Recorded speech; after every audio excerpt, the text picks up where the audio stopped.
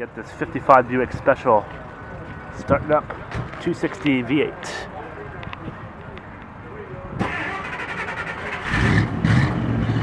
Very nice. It's been restored, but that's the original color. Has the original tires from, or the original type of tires from 1955.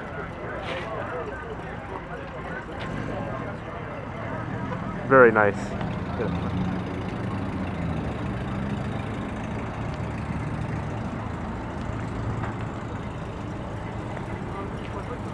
Someone wants to come in the way out.